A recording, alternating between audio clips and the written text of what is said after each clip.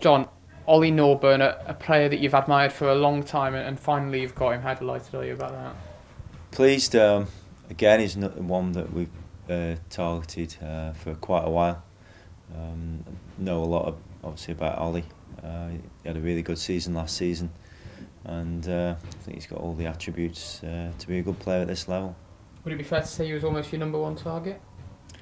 Uh, pretty much, yeah. Um, as I say, with with knowing him, um, then then that helps, and uh, he's he's coming here looking to to push on again. Um, as I say, he's got the attributes to do it. Um, now he's got to show that he can. You've worked with him before. What is it about him that's that's impressed you in the past? He's a good footballer. Um, he's, he's very athletic uh, and can can get the uh, the odd goal. Um, but his all round play, he, he wants to win, and that's uh, that's his main attributes really.